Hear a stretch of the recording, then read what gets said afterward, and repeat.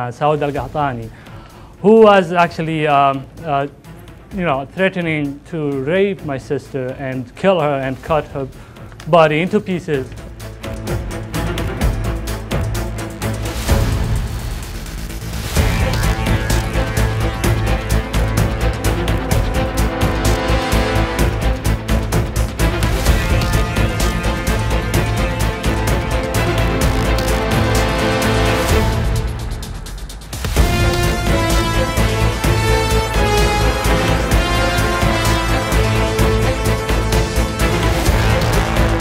One of the challenges is actually uh, applying for a job at the United Nations.